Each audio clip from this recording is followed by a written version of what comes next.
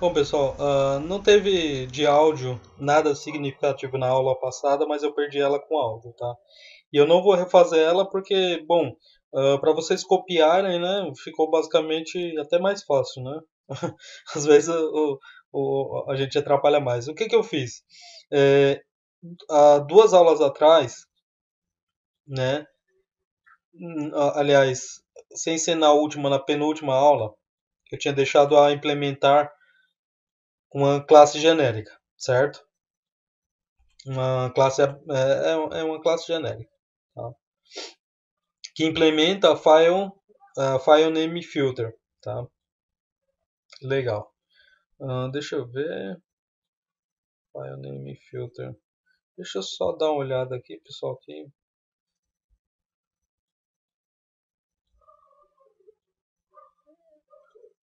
É, é, tá certinho. Tá. Uh, na verdade, pessoal, ele, esse código aqui, em vez de ter deletado, né, é, ele era só para listar mesmo os arquivos, né? Então, file check existe, é, se existe, é, deletado não, tá, tá como falso. Como a gente fez o, o método aqui de, de deletar, tá? então fica fácil deletar se a gente quiser adicionar um, um, um método aqui de deletar. Então, o que, que eu fiz? Eu simplesmente só implementei essa, essa, essa classe genérica aqui, tá? E depois eu adicionei aqui no, no método main, né? Uh, passando os parâmetros do file dir e file ext, tá? Então, assim, não, não foi muito intuitivo não, simplesmente se a gente trocar lá de volta, colocar docx, docx, tá? Não, a, a intenção não é não é deletar, tá? A gente vê aqui, né? Apesar que a gente instanciou o método delete, né? Delete, aliás. A gente instanciou o método delete e eu deixei, eu não falei, vocês não escutaram porque é, na verdade eu não sei o que que acontece com com, com esse Camtasia que ele tá meio zoadanço. E aí acontece que eu tinha falado para vocês que era para vocês tentar, né? Tentar executar o exercício e deletar todos os arquivos. Mas é besteira, é fácil fazer uma função aqui que percorre um percorre todos aqui e deleta. Né? Quer ver? Vamos achar o for aqui. Cadê o nosso for? É daqui em diante, ó.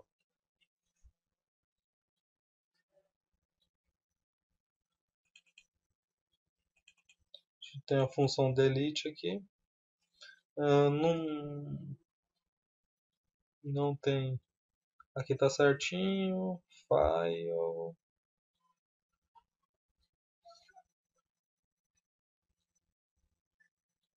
Separator certinho. string também tá certo. No file aqui.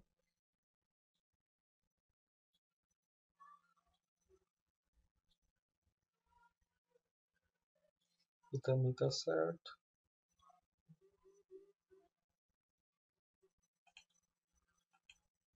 Aqui tá certo também.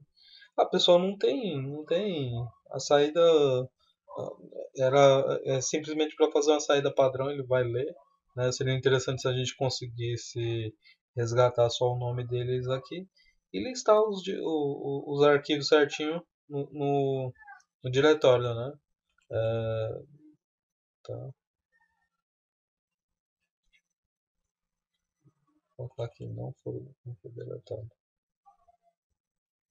Não. Na verdade é não foram deletados. Tá? É...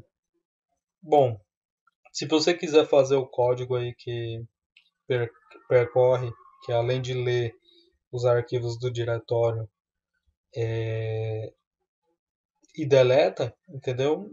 Não é muito difícil não, é só a gente chegar aqui, ó, né? Com essa funçãozinha aqui, ó, só criar um arquivo, file, apontar o diretório, né? Ponto diretório aqui pode ser dinâmico, pode colocar uma variável contendo o valor do diretório que você quer deletar, tá? File.delete, tá? Então, pessoal, vou encerrar essa aula por aqui. É, estou programando, já estou programando há um tempo, vou fazer alguma outra coisa. Vou acho que bater um game e volto na próxima aula aí, já volto aí fazendo alguma coisa diferente, trazendo mais algum exercício legal pra gente ver de manipulação de arquivo, tá? Se bem que esse foi mais um foi, foi basicamente uma leitura de diretório, né? De, de arquivo. E ainda ficou meio meio esquisito aqui, tá? É, se, eu, se, eu, se eu perceber alguma melhora em relação ao código, eu trago para vocês aqui na sequência. Uh, já trago para vocês aqui e apresento, falo, olha, a gente podia ter feito isso, isso, isso, isso, né? E, e o resultado mudaria, tá? Então, até de todos os outros que já passaram aí, a gente faz. Tá? Então, um abraço aí, até o próximo vídeo.